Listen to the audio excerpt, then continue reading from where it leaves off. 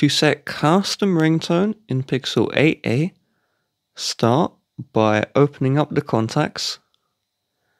Then select the contact you want that custom ringtone for.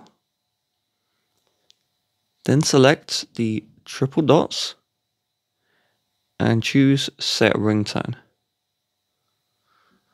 Then just choose either under my sound, the plus button to import your own MP3 ringtone file, or go into these other sounds and tap save when you're happy.